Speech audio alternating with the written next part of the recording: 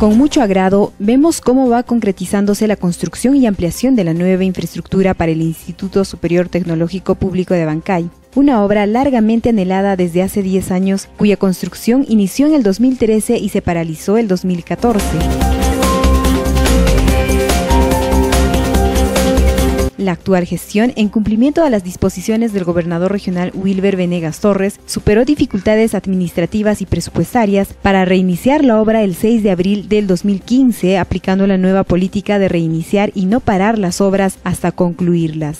La sede central en este momento debe tener un avance de 74% aproximadamente. Acá lo que está faltando es, por ejemplo, acá estamos encima de la rampa, solamente falta eh, el último techo de la, de la última rampa que queda, último tramo. En esta zona va a quedar colocar las barandas metálicas y un revestido general. Ahora acá el módulo 2 lo que está quedando es un poco de tarrajeo, un revestido.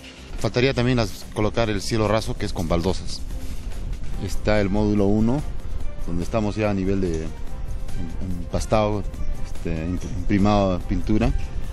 Tenemos lo que nos falta son puertas, ventanas, nos falta pisos. De acá un poquito más a la derecha está el módulo 3, que es el, el auditorio del, del, instituto. Terminemos acá. Acá lo que está faltando es el cerco perímetro. Algunos, uh, algunos accesos, el patio de maniobras, unas instalaciones de agua, sumidero de agua pluvial también. Ahora, en la zona de San Gabriel lo que nos falta es bastante lo que es el muro perimétrico. Estamos ahorita ya concluyendo lo que son los uh, galpones para cuis y para aves. Ya prácticamente tenemos techado, falta tarrajear un poco algunas instalaciones, le vamos a poner ventanas de, de malla, malla galvanizada y este, la refacción de un local antiguo de, que, existe ahí.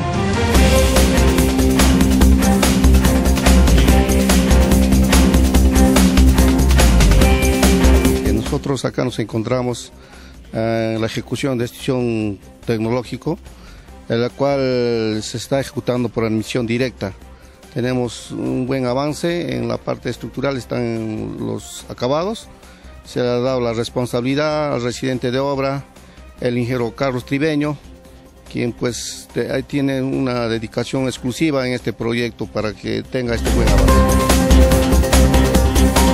Desde entonces, la rapidez con la que se ejecuta el proyecto viene sorprendiendo a beneficiarios y a la población por su gran capacidad de avance en la obra que a la fecha alcanza un 70% de ejecución física, hecho que sorprende y embarga de emoción a docentes y estudiantes de esta Casa Superior de Estudios. Bueno, mi sentido de esto es, que necesitamos la, lo que era la implementación de, la carrera de civil y las otras carreras más y bueno, es una buena obra para, para el avance de nosotros como técnicos que realmente necesitamos esta infraestructura y decirle pues gracias a las autoridades por haber hecho realidad nuestros sueños de hace muchos tiempos, que siga innovando así el, el, los estudiantes para poder superarnos, ¿no? Feliz de, ver esto, de ver que, que, que, se, que crezca, ¿no? Mi institución. Eh, respecto a la obra, pues este, me siento eh, feliz de ver ya avanzado la obra porque ya nosotros ya como que les estamos echando, como quien dice vulgarmente, tierrita, porque el año pasado no había un avance. Entonces, ahora sí ya estamos contentos, al menos nosotros que ya estamos egresando, vamos a ver la obra concluida, ¿no? Porque ya al menos vamos a poder nosotros regresar y hacer al menos análisis de suelo, estudios de análisis de suelo, ya vamos a tener un laboratorio y esperemos que sigan implementándose más. De antemano sí, agradecer bastante ¿no? este, por el avance que hay.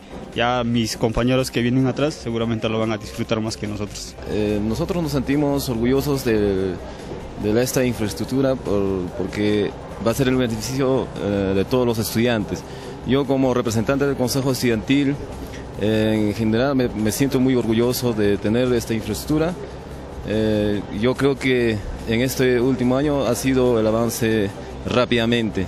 Sí, a lo que veo se avanza muy bien y espero para el próximo año que se encuentre operativo esta obra para tener una para tener una buena educación en nuestra institución. Eh, este avance de la obra, lo que está ejecutando la región, a nosotros como estudiantes nos enorgullece.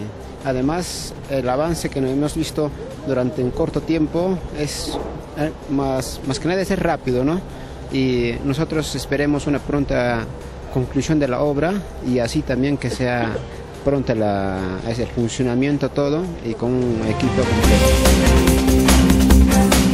Es así que el compromiso del actual mandatario regional Wilber Venegas Torres se ha constituido en una política que trasciende en la atención de las principales necesidades de la población, traducidas en el reinicio y conclusión de obras postergadas por varias gestiones y años, así como el inicio de nuevas obras priorizadas de acuerdo a las principales necesidades de la región Apurímac.